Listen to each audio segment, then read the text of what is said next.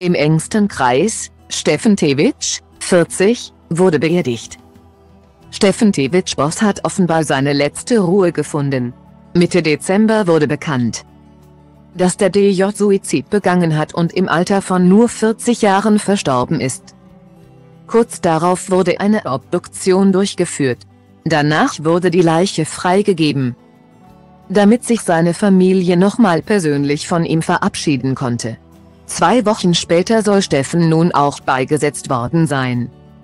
Wie mehrere Insider gegenüber TMZ mitteilten, wurde der Entertainer heute im Kreise seiner engsten Angehörigen in Los Angeles bestattet.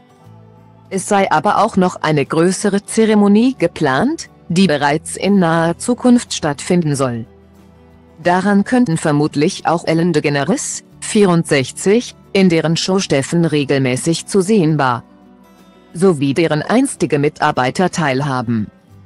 Die Moderatorin hatte bereits öffentlich mit rührenden Worten um ihren langjährigen Freund und Kollegen getrauert. Auch wenn die erste Zeit nach seinem Tod für sie hart und schmerzhaft gewesen sei, wolle sie sich an die guten Momente mit dem Tänzer erinnern.